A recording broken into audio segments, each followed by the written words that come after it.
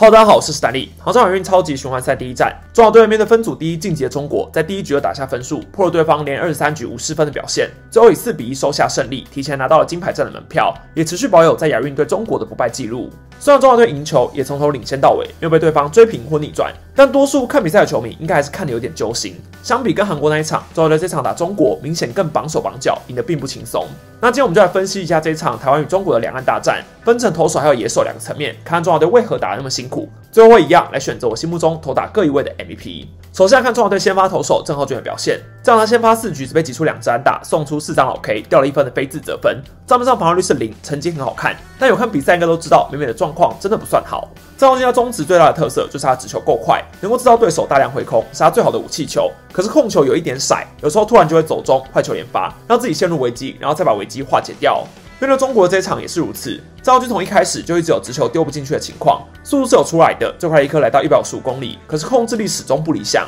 也因为直球不准，让郑浩君处于球速落后的局面，特别是第一球的好球率非常低，这样他面对十六名打者，居然只有六位可以在第一球取得好球，过程中送出了两个保送。基本上郑浩俊的直球只要能够投进去，那中国队打者是连碰到球都很难的。挥空的频率非常高，而且也没有任何一位中国打者能够针对郑浩俊的直球击出安打。两名敲出安打的选手，包括陆云还有昆永康，都是打他的变化球。好在他跟林家正的搭配，有想办法在直球控制力不佳的状况下，改运用了很多的滑球，至少能够丢进好球带跟打者周旋，所以安全度过了前面四局。可是第五局上来，面对陆云连续四颗坏球，投了两颗直球、一颗滑球，还有一颗曲球，都没有获得主审的青睐，然后就被换下去了。当下其实看到美美有点错愕，也能感受出还想继续投。但我觉得中华队的换投是有必要的，因为对中国这一战只要赢，下一站对日本就可以轻松的打，毕竟确定晋级了嘛。这样投手就能够全部缩化到金牌战，有更多调度的空间。何况前面已经知道张耀军状态不算好了，前阵子还有受伤，分差也不是说拉得很开，只有三分领先。万一再让他堆垒包，牛棚会更不好收拾，不如就主动换投，我觉得很合理。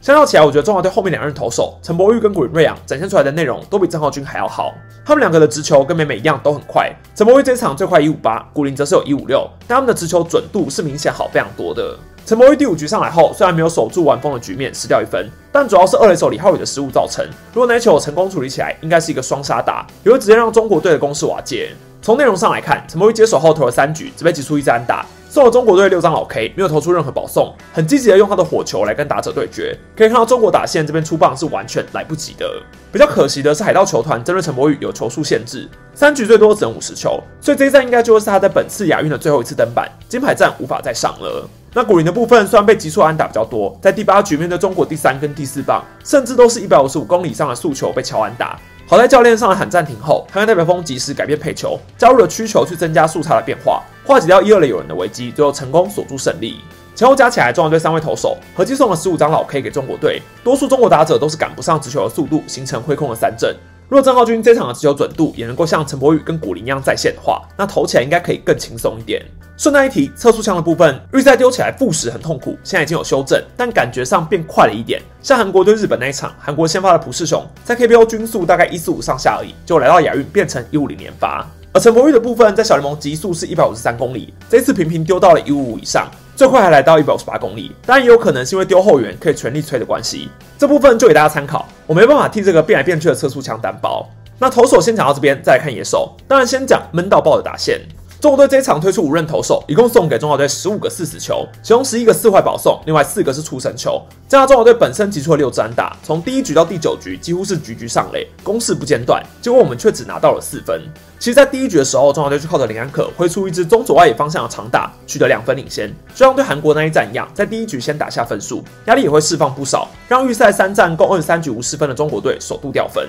可是从这一棒之后，中华队再也没有打者能在等点圈有人时击出安打了。后面的两分，一次是靠三后尾挨触身球，在满垒几为分数；另外一次则是吴念婷挥出了高飞牺牲打。我们可以很明显观察到，中华队打者群是完全打得到中国投手的球，整场也才吞下了三 K。但虽然打得到，却没办法打得好，残垒一局接一局的累计，打完九局留下十六个残垒，已经数不清中了几次的满垒计。那最闷的打者肯定是李浩宇，第一次打击一二垒有人，虽然最后获得保送，但中间其实已经打了一颗界外飞球，是中国右外野手的防守瑕疵，让他有 C 逃生的机会。第二次打击也是一二垒有人，投手滑蛋才让已经控球不稳，结果李浩宇很积极的出棒，打成一垒上空的飞球出局。第三次又是类似的情况，一出局后，中国投手连续三个保送挤成满垒，结果李浩宇去打第一球，形成投手正面，投手崔恩廷又处理得非常好，接到球后直接手套把球抛出去给捕手，顺利完成封杀，也让李浩宇再次错失打点的机会。除了打击闷，李浩宇又在处理二垒滚地球时，球刚好打到了人工草皮跟红土的交界处，所以没有弹起来，被记上了失误，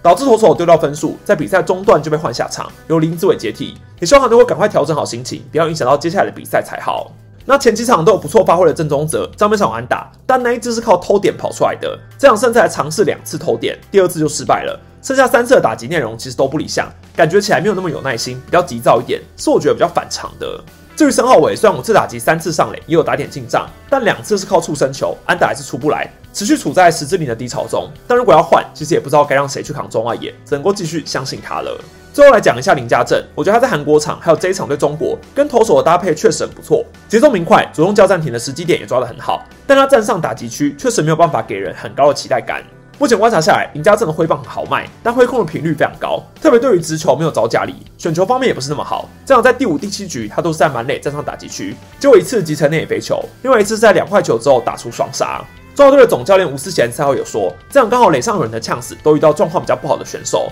那既然都已经知道林家正状况不好，为何不考虑板凳左打的戴北峰，让他上来面对右投手？又或者上一场代打乔安的李义威，其实也是一个选项啊。毕竟中华队这一次只带两名捕手，如果教练团为了保险，一定要保留一位捕手在板凳，那我还可以理解。可是第八局戴培峰就上来了，表示教练团是可以换捕手的，纯粹只是为了让林家正跟陈柏宇打完第七局，所以不换代打。我是觉得蛮疑惑的啦。那最后我们来选投打的 MVP，投手部分我会给陈柏宇，虽然说他一上来队友发生蛮多状况，但他自己是很稳定的。守住了一出局三连有人的局面，没有让中国再拿分，靠速球连标拿了六张老 K，看了真的很过瘾，也顺利吃了三局，弥补张浩军提早退场的情况。野手的部分，我还是延续韩国战给林安可，毕竟他是这一场唯一一个能够在得点圈敲出安打的中华队打者，而且是长打。如果第一局没有打那两分，后面情况会有多紧绷，我还真是不敢想象。希望今晚战的安可也能够持续有这样的表现。那下一场对日本，中华队已经透露会有左投先发，言下之意应该是旅日的王彦辰。我个人是觉得蛮没有必要的，因为对日本这场无关胜负。讲的夸张一点，